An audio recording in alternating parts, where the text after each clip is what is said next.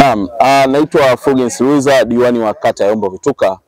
Leo nilipata mwaliko kutembelea kituo cha madras cha Mumin kilichopo Kiembe Samaki, ah, mtaa wa Vituka, kata ya Yombo Vituka. Kwa kweli nimefarijika kwanza kukutana na vijana wadogo kabisa ambao wako tayari katika kupokea elimu ya dini ya Kiislamu kupitia madrasa hii ambayo nimeikuta hapa. Lakini lengo kubwa kabisa kufika kwenye eneo hili, kwanza kuona mazingira ya vijana hawa yakoje, yako salama, lakini pia kujihakikishia kwamba elimu wanayoipata ni elimu sahihi na ina watu sahihi.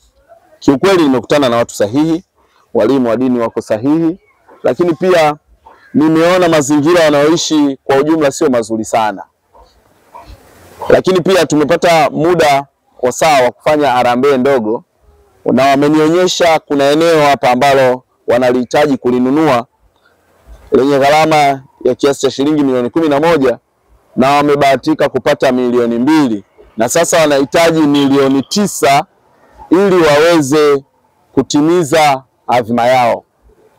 Kiukweli, kwa wadau mbalimbali wanaoona au wanaoniangalia sasa, ningewaomba tujumuike kwa pamoja katika kusapoti madrasa hii ya Mumin iliyopo kati ya Yombo Vituka, mtaa wa Vituka, kitongoji cha Kiembe Samaki. Kiukweli, kumtukuza Mwenyezi Mungu hata kwa kidogo tu kichanga unapata thawabu. Kwa hiyo mimi kama diwani wa kata ya nimeshawishika kuja hapa, lakini nimekuja hapa kama kiongozi wa serikali kuhamasisha viongozi wengine, wananchi wengine wajitokeze kuunga mkono madrasa hii, kwanza waweze kupata ile eneo ambalo wanalihitaji.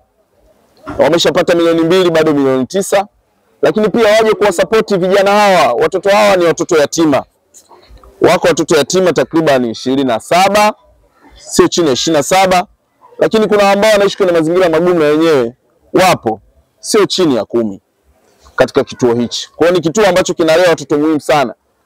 Tunaweza ukajiuliza, watu wengine wanapata mafanikio sio kwa sababu tu wana uwezo mkubwa wa akili nyingi za darasani, wanajitoa kiasi gani kwa jamii, wanajitoa kiasi gani kwa watu wanaishi kwenye mazingira magumu kama vijana hawa tunaona hapa.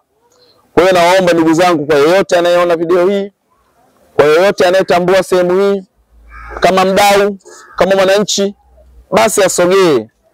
Aweze kuwashika mkono, aweze kusapoti kupata eneo hili ambalo liko nyuma yetu kama mnavyoliona, lakini pia aje aangalie mandhari gani wanaishi hawa vijana wetu.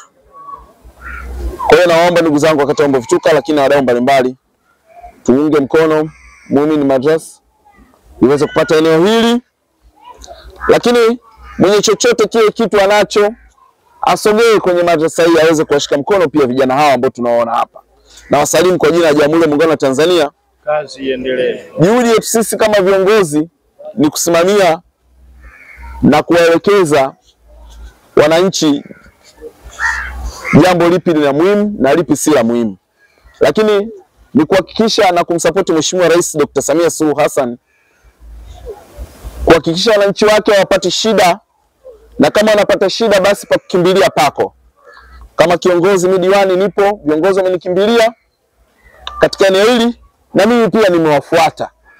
Kwa hiyo tuko pamoja kama diwani, tuwaunge mkono na wasalimu kwa jina la Jamhuri ya Muungano wa Tanzania. Assalamu alaykum wa rahmatullahi wa barakatuh. Wa alaykum salaam wa rahmatullahi taala wa barakatuh. Amen. Sasa mwalimu